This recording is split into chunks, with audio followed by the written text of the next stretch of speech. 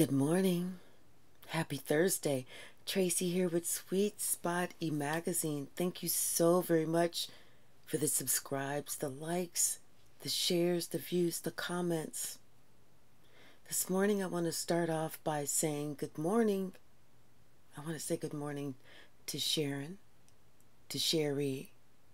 I want to say good morning to Purple Dragonfly, to Dragonfly Spirit, and I want to say a good morning to my spiritual daughter, Delphi.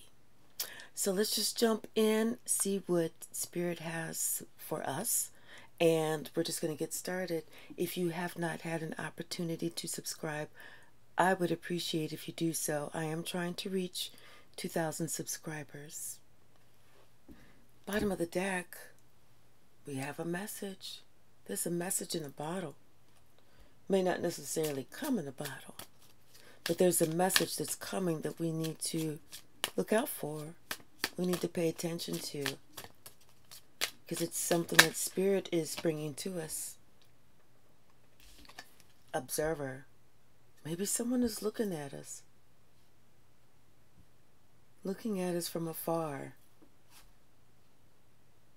Could be somebody who's imagining a life with us, imagining going the distance with us.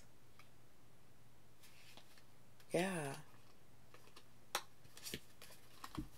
Could be somebody that is kind of checking us out. Maybe they feel like they're alone and they wonder if you're alone and maybe you guys could be together. Something about this observer. What is it, Spirit? What's the message? What's the message? Thank you.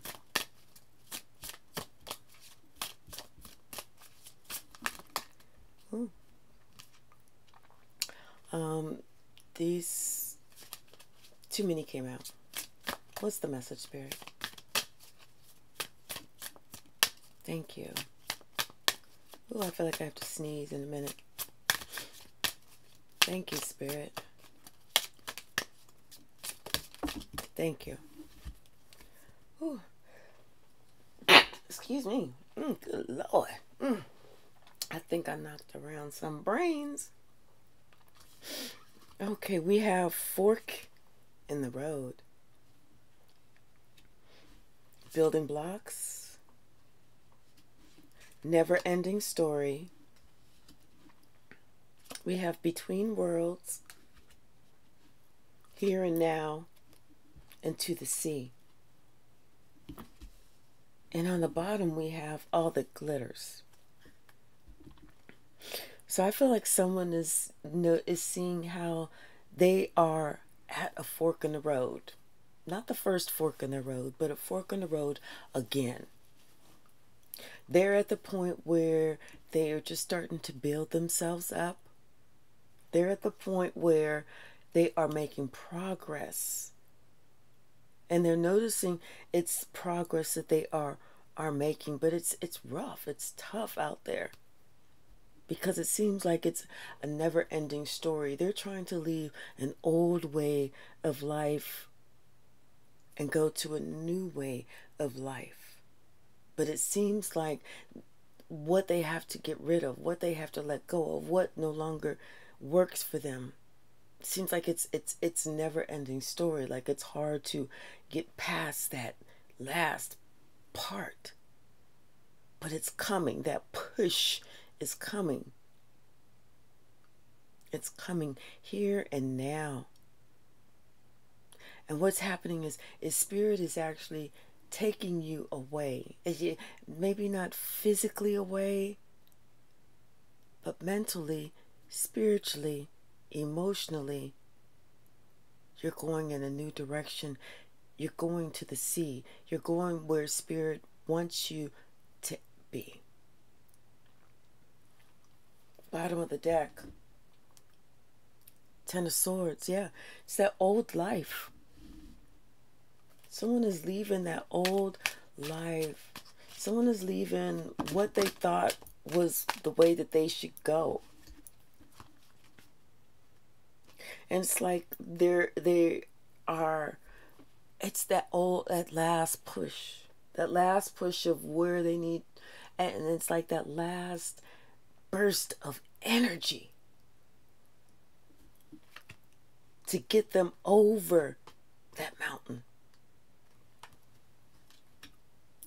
To get them past that that last part that last hurdle so that they can come in so that they don't no longer feel left out in the cold no longer feel like this was this is where they're leaving. This is what they want to leave. And like, this is why they need that last push. Because like i said they feel like it's a never ending story. But i'm telling you the truth is here.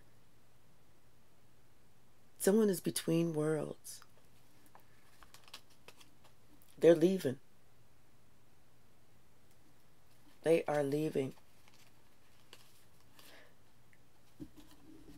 they realize that now. Now they're seeing how they've been building up. Now they're starting to wake up and see.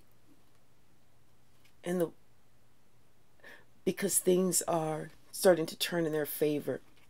Like I said, they were at that fork on the road and those building blocks. They're starting to see a little bit by a little bit of progress. They're starting to see, then they're looking back at, okay, well, it used to be like this now it's like this. I used to feel like that. Now I feel like this.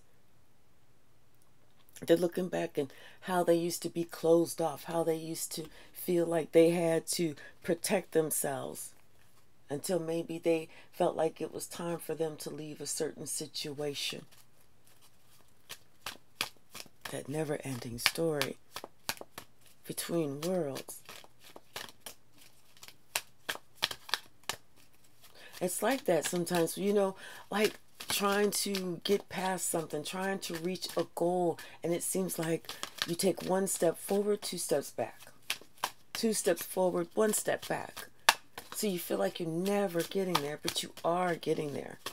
It's like the little progress, little by little.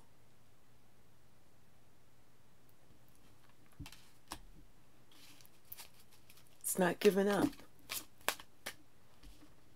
It's being proud of the little bit that you were able to do, to accomplish. It's realizing, you know, all the wonderful things within you.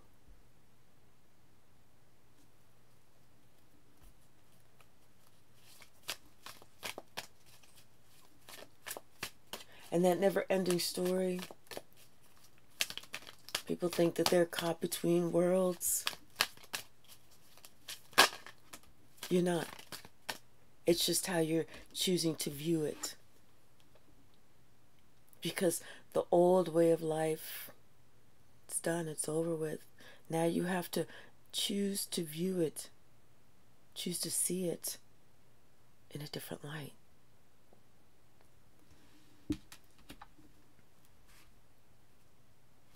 Time to turn your back on what we thought were great working relationships, but they weren't. I'm here to tell somebody once again two is company and three is a crowd. And I feel like someone had to learn that the hard way.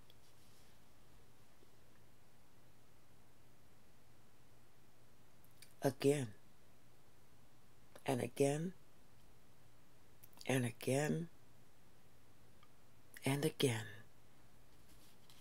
Someone had to learn the hard way. Two is company and three is a crowd. Because there's somebody that was in their life that chose that was so immature. This person was immature this person was just out for money. This person had a good way with words. They had a really good way with words. Could have been somebody that you've known for a long time.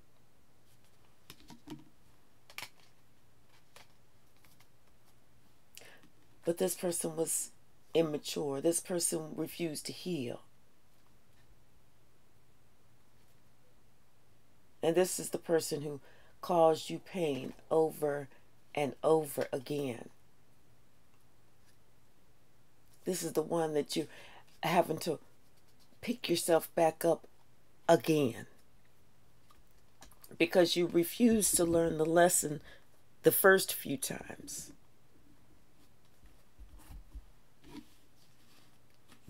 And this is how we are between worlds because we are seeing that we're at that fork in the road again.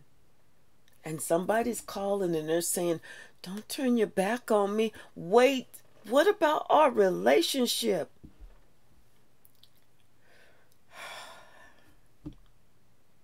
I call bullshit. I call bullshit. How dare someone say, What about our relationship if you've been doing me wrong? What relationship? If you've done me wrong, what relationship? If you lied to me, what relationship? If you stabbed me in the back, what relationship are you talking about? Which one?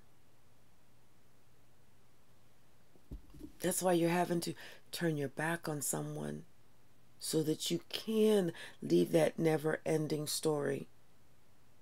So that you don't get stuck between worlds.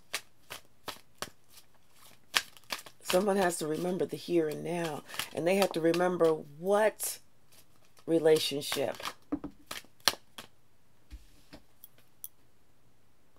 What relationship? Buddy, once again, what relationship? It's time for me to go. More importantly, it's time for you to skedaddle. This is the here and the now.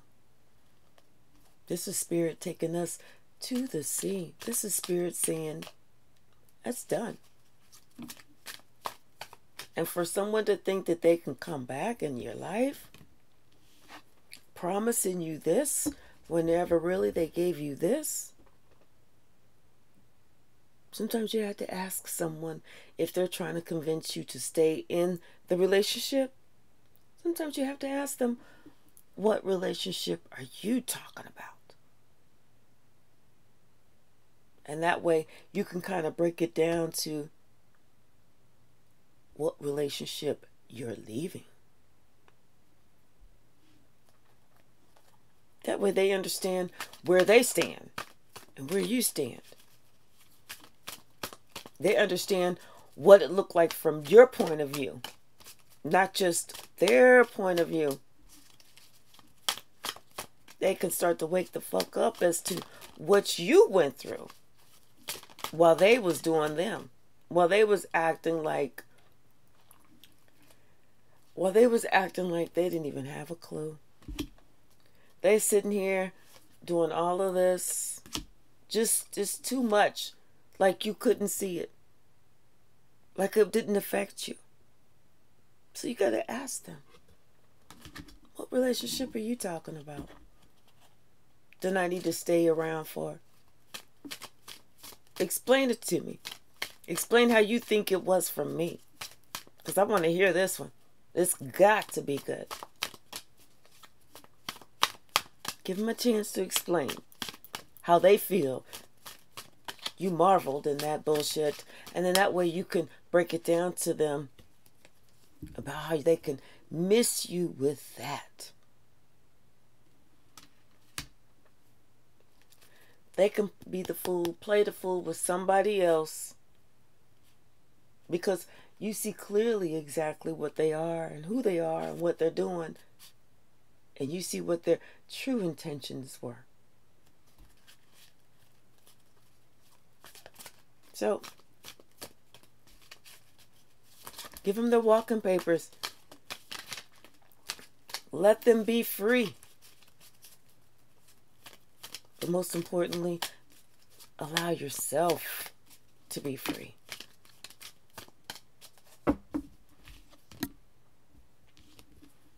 Have the strength,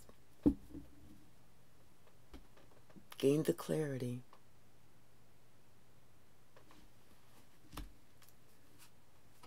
And don't worry about moving on because what you're doing is you're you're moving on past that. Have the strength to gain the clarity to look at what you really what you really left. What is real what it really is and work on yourself.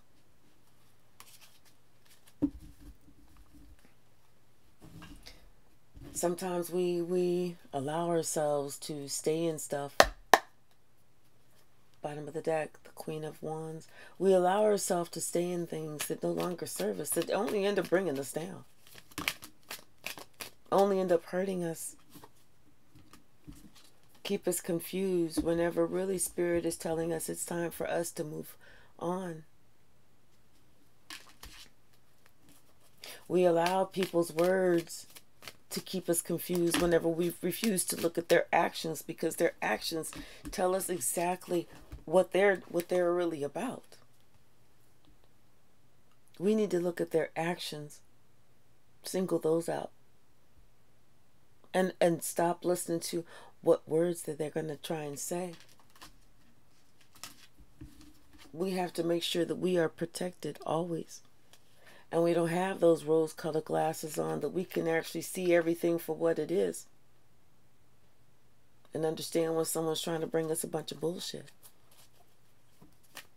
Because at some point, they feel like they have nothing to lose and only everything to gain.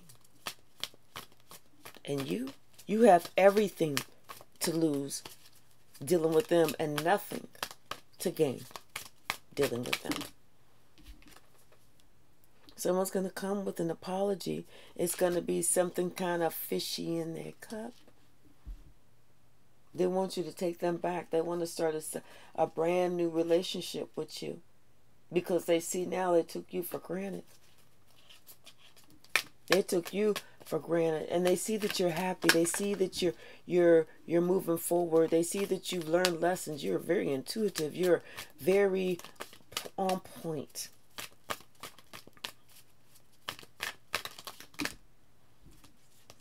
And like I said, they they took you and this entire relationship for granted because they they were on some other type of trip they was on some other type of trip. They was on this, let me get in, let me do this, let me do that. I can keep somebody stuck like Chuck because they thinking that we, we a couple. They thinking that I have something for them. They thinking that I really want to be in a relationship with them. They're thinking this, they're thinking that. But really, they were taking you for granted. Now that they can't take you for granted, they want to come back and they want to act like I wanted it to be just you and me.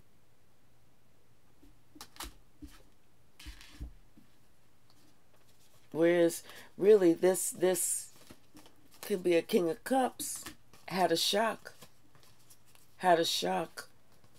A shock of a lifetime when somebody had a shock when somebody actually walked away. And that's whenever when somebody had the courage to actually walk away because they weren't getting that love. They weren't getting that respect. They weren't they weren't getting none of that. That's whenever that person decided to take off the blindfold and see where they were actually at. And once they took off that blindfold and they felt exactly where they were at, they knew it was time for them. It was time for them to do whatever they needed to do to to leave this old way of being behind because breaking it down they were not happy with this at all. This little action that they did this little immature action that they did because they was following somebody else that was extremely immature. And they didn't realize they was following somebody else that was extremely immature until karma came back to bite them And it took a bite out of crime. And whenever they realized and said, wait a minute, this person even isn't even acting like their age. Because everybody said, why are you why are you following this fool? Why are you following this fool? This fool ain't done shit but get you messed up. And that's when somebody really had to say, you know what? Maybe everybody telling me about this fool is the truth, and I see now I'm stuck. Somebody was stuck. Somebody was stuck. It's almost like it was God Himself who had to came come and show this person, you know what, you ain't doing shit with this person. All it is is just somebody that you know from a long time ago. Somebody that should have been left in the crowd a long time ago. You were supposed to have been on your own a long ass time ago.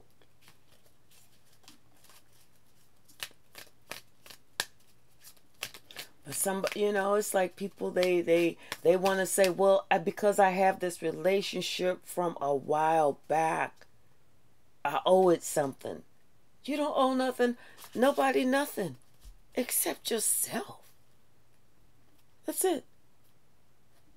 That's it. You don't know any anyone anything except yourself. Spirit says, you know what? Have the strength, the courage to move on. It's time for you to elevate. It's time for you to go up that escalator. It's time for you to ascend. It's time for you to look at the bigger picture. Get out of whatever that is. Get away from whoever that was or that is. You know, someone says it's time to go back to work, and that could be working on you. Something about a coven. Yeah. Something about a coven. You better beware. You can only control what's on the inside of you. Someone needs to understand that because I feel like someone, they felt like they, they was around someone that, uh, first of all, this person is was obsessed with you and that's why they didn't want you to go anywhere. But um, someone was with someone who was trying to control them, like seriously control them, and thinking that, um, well, yeah, can't make this up. Could have been like a narcissistic father, father figure someone like that that was trying to make them stuck, trying to say, no, you don't want that. No, you don't want that. You don't want that. Because they're trying to steal your gift, whatever it is that your gift is. Whether it's you, whether it's your inheritance, and your inheritance could be trying to cause wedges between you and your children.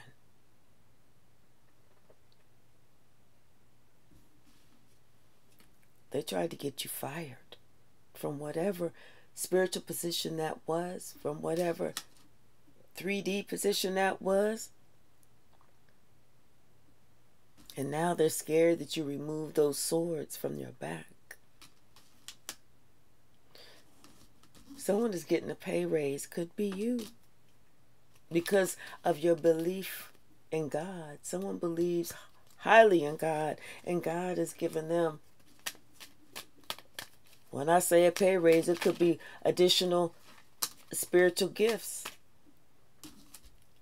Because someone chose God. Somebody Q, R, S, or T. Someone needs to understand that your your future depends on your wise choices, whether they're relationship choices, business choices, something. Somebody else real, realized that it wasn't worth it. They see somebody else is on the good side of karma. Someone is excited about your new beginning. I'm telling you, someone is between uh, worlds. They opened up their third eye to see what was really happening, to see what was really going on. Someone else could be getting uh, being placed behind bars, either physically or in the spiritual world.